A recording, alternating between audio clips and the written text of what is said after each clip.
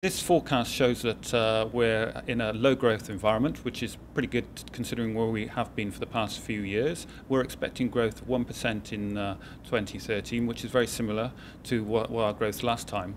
Uh, we're, we, are expecting a slight tick up in the service sector uh, as our surveys for business surveys show uh, growth optimism and business volumes over the next quarter, and uh, manufacturing slightly less so, but uh, still optimistic over the longer term.